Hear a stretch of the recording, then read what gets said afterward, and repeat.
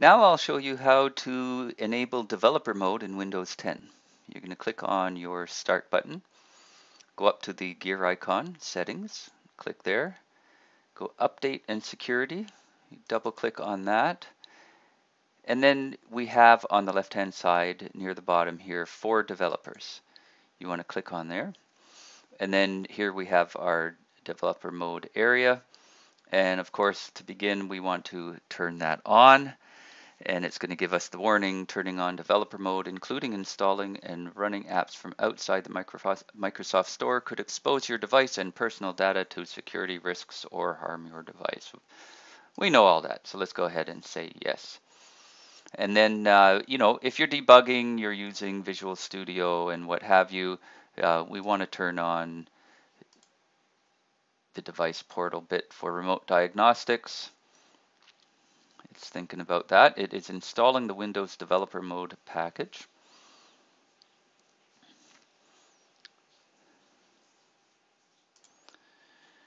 And once it's installed that bit, uh, it has turned on the remote diagnostics and it has also turned on authentication. So if you want to use a password and username to help secure this kind of activity, you can go ahead and put that kind of thing in and press apply. Let's say yes to that. There we go. And uh, let's see, here we have some information about uh, which Ethernet connection is being used, the, uh, the local host address. And um, the last item here is device discovery. Uh, make your device visible to USB connections and your local network. So we want to turn that on as well if we're doing, uh, you know, heavy duty development. And uh, it does note that this requires version 1803 of the Windows 10 SDK or later, right?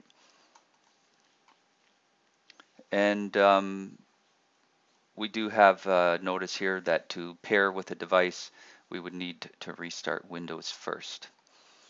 All right, and there's a few other settings down here under File Explorer, to uh, allow a more developer-friendly experience in File Explorer, uh, showing hidden and system files, full path in the title bar, uh, run as a different user in Start, and uh, change settings to show empty drives, right? So basically, it gives you uh, a more visible experience. It's not doing the uh, so-called friendly thing of hiding a whole bunch of stuff from you. When you're a developer, you're developer, you're expected to know more about uh, what you're doing and what's going on and require more information, right? So we can hit apply to make sure that all of these things are applied. And of course, as suggested by this note here, go ahead and restart your computer and you should be well on your way to uh, developing in Windows 10.